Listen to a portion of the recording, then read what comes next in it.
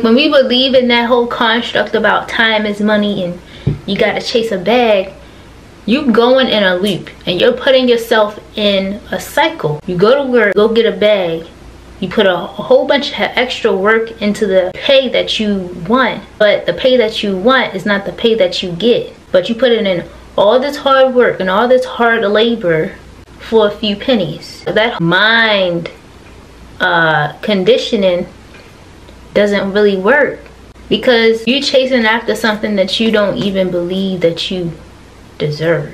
Something that doesn't really align with you. I'm not knocking a 9 to 5, but if that's what suffice right now, okay, cool. I know people going through whatever they're going through. But you don't have to stress out and overwork yourself harder than you actually have to. Money is an energy, it's a frequency that one must vibrate at. And if you going to work and you keep on complaining about your job, you're not happy, you're not satisfied, but you're still getting good benefits and you still getting the pay that'll help you pay for your bills and stuff like that, but you're not really happy, of course you're not going to get the dream that you're trying to attract because you're not happy.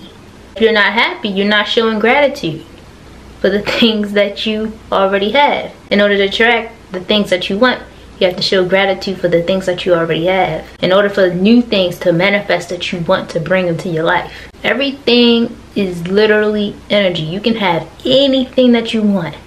Anything. You can do anything that you want. You can be anything you want to be. I feel like people chase after the wrong things. When I say the wrong things, I'm talking about the wrong things that aren't going to get them the thing that they really want overall. If you chase after your purpose, the money will come. Do what aligns with you, not with what you see and and hear what society tells you to do. Like once you align with the purpose that you came here to fulfill, everything will fall into play because not only are you now happy, but you're showing gratitude for the things that you are facing you're showing gratitude for the things that coming into your life. You're showing gratitude for any and all circumstances that you're in. Because you're now walking and aligning into your purpose. You don't have to, oh, I gotta do this. I gotta hurry up. I gotta meet these deadlines. You don't have to do that. Aligning in your path it's like all these different doors are now opening up for you. Time is money is an illusion. Time is not money. It is a frequency that one must vibrate at do about actually genuinely being happy with what you do. If time was money, let's say this. I give you a billion dollars today and you gone out of here tomorrow. Hmm. You see what I'm saying? You can't take the money with you. Time is money. No, it's not.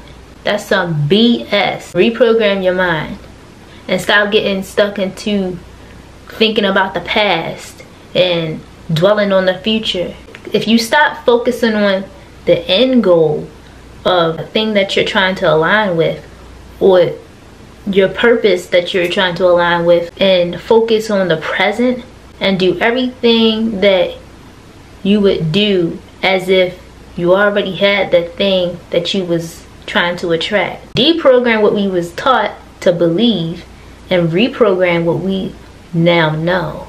That whole time is money it makes people rush and go get it. It makes people fear, oh, how am I going to pay my bills? I got to go get it I gotta go get it.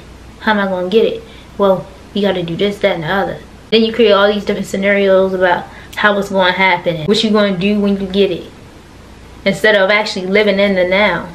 Be in the present moment and it'll come so much faster. And this is like the biggest key that you can use in manifestation. I want to slap whoever wrote up on that, okay? Because that's some BS. But yeah, I just wanted to share my thoughts on this whole time is money construct because it makes no sense. it makes sense, but it doesn't make sense at the same time. I want to do more conscious content and share my thoughts that may expand others' horizon. That's the purpose of this YouTube channel. So I'll see y'all next time. Peace and abundance, peace and chaos.